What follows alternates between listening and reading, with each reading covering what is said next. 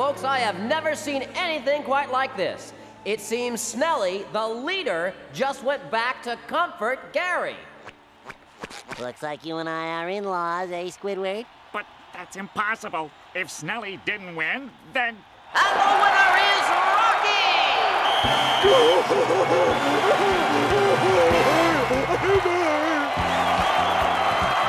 I can't believe it. My purebred, which cost me $1,700, lost to a rock.